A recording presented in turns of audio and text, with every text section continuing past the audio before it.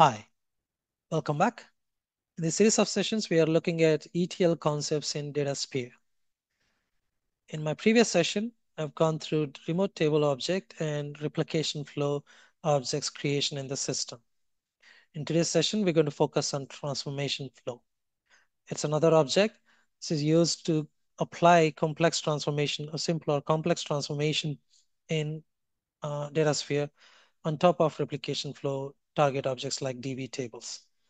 You can call them local tables as well. Let's switch to the DataSphere system and then start creating a transformation flow. So I'm in replication flows. I, I can have my transform, transformation flow in the same folder. That's fine. I can either create a transformation flow from plus icon or I can do it from um, the top window here. So I'm going to choose it from the plus window. This is a new transformation flow window. You can see a target and a view transform. A view transform is, is mandatory for a transformation flow. What is a view transform? Uh, it, it, contains the logic um, of um, your transformation. For example, you can build your transformation logic using graphical view or SQL. So if you select graphical view, it, it invokes a graphical user interface to apply your transformations on your DataSphere local tables.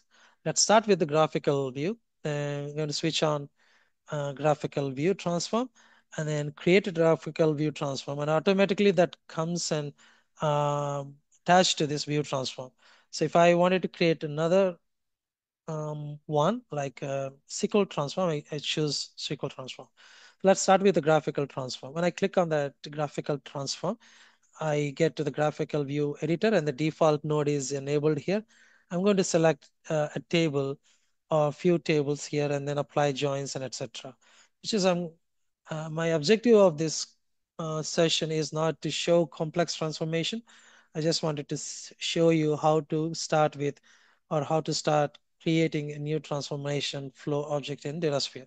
So for that, I'm not really picking a, a data logic here. I'm just going to get uh, sorry, I don't have a remote table uh, to I cannot use the remote table to be here. I can I have a couple of local tables created uh, as part of replication flow before. So I'm going to select uh, carrier table and put it into the view transform. As soon as I drag into the canvas, I or graphical view editor, I see um, the table definition coming here. There are five columns in it, and those five columns are available in the default node as well. I can add more nodes to this one. I can uh, have a join suggestion or I can bring in another table called airport and then just drag on top of this. So it's going to show you a, a, a join proposal. So you can see or union on replace proposal. So if I wanted to have a join, put it on join. So it's going to get me to the join uh, option on top of the carrier.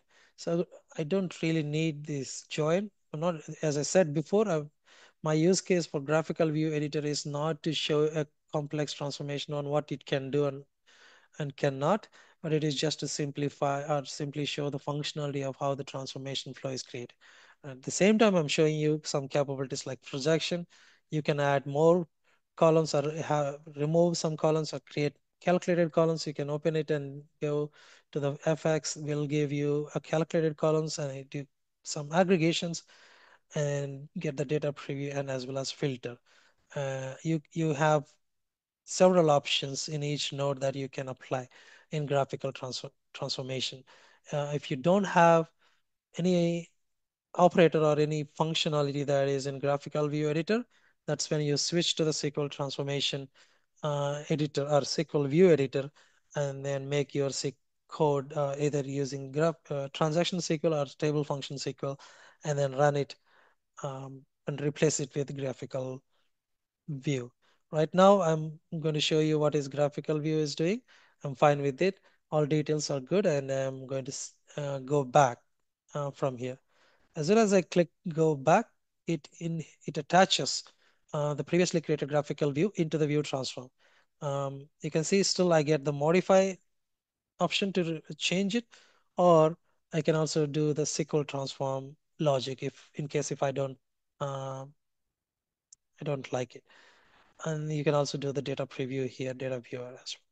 So my target uh, is going to be another table as I shown in my screen, uh, another DB table or local table that I'm going to uh, have it applied here. It's a, it's a kind of an error message. It's just since it doesn't have a table attached, I'm going to attach a table. So I attached a table, uh, target one. I can go and give the table name uh, as um, this is a result of carrier. Um, I can say carrier target as car target. And that's uh, going to be, I can truncate and load all the time just on delta capture. I'm not doing any delta captures at this time. I'm fine with it, closing the details and saving it. And then this is going to be my transformation flow. I'm going to save it in same place as replication flow. Ups, I'm going to say TF on as, as card table. Save it. And then deploy and then run will run will make sure your data will transformed and loaded into the target table. Okay, and then I can deploy it and then run it after. At the same time, I'm going to create another one uh, which is using SQL transformation. So I'm in the same folder. I'm going to say create another transformation flow. And then here view transform, I select it and SQL. So it's going to take me to another um, place where SQL editor is coming. I can simply do uh, SQL code like if I wanted to do, I can do the um, table function with a complex logic, or I can have a simple SQL. Uh, oh, sorry, I don't have the data flows. I will be going into replication flows and then get a table uh, name, which is going to be S airport into this one. Um, that's it. And then I'm going to go back and then apply uh, the transformation is applied. In the target, I can say add and then give the target name as um, as fly um, target. And I can truncate and load it and then save it. This is how I can apply a SQL transform. If I have a complex uh, procedural or complex logic, uh, then I can use table function, but at this time, I don't need a table function. So I don't need a table function in the in this uh, in this example. I used simple SQL. I using SQL, TF with SQL, and then save it.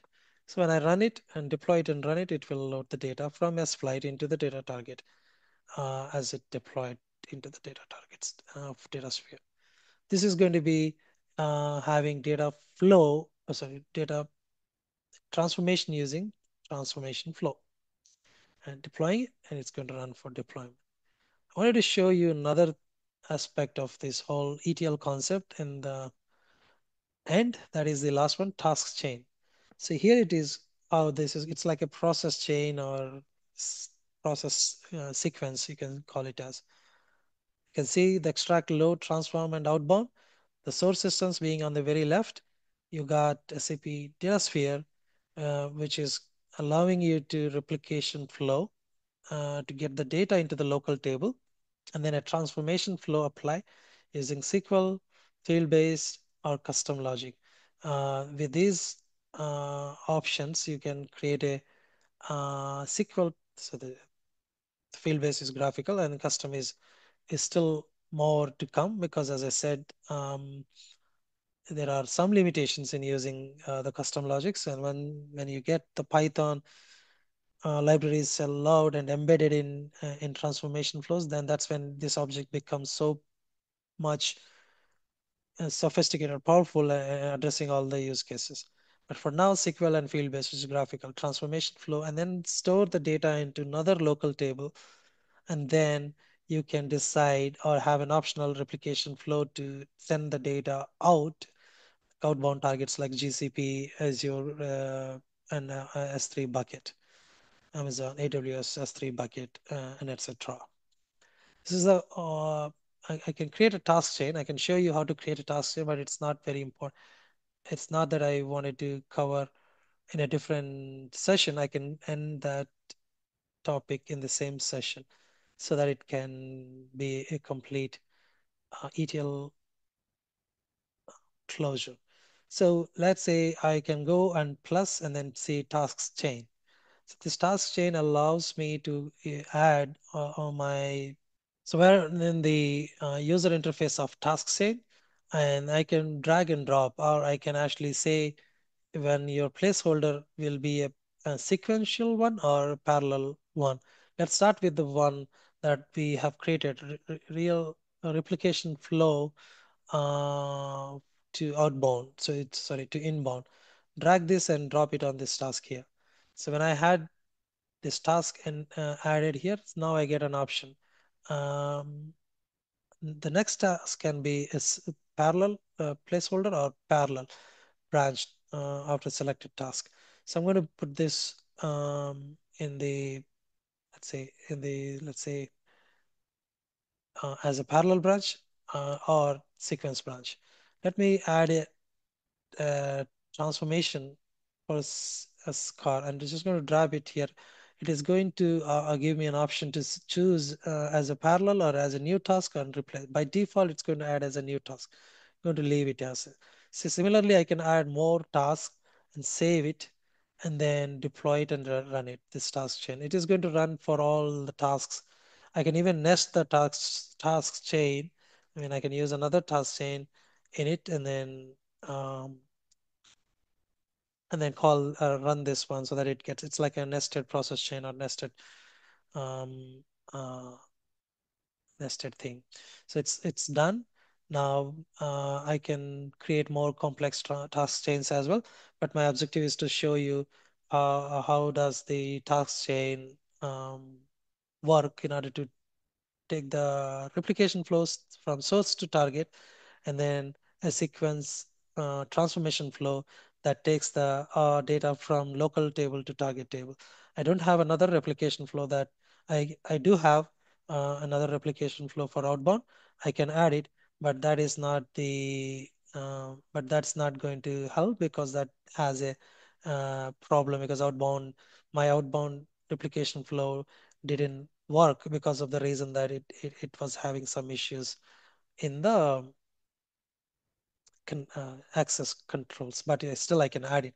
So with that, data inbound, transformation, and outbound uh, task chain can be a full set of tasks together will make uh, a complete data flow or ETL flow in in in DataSphere.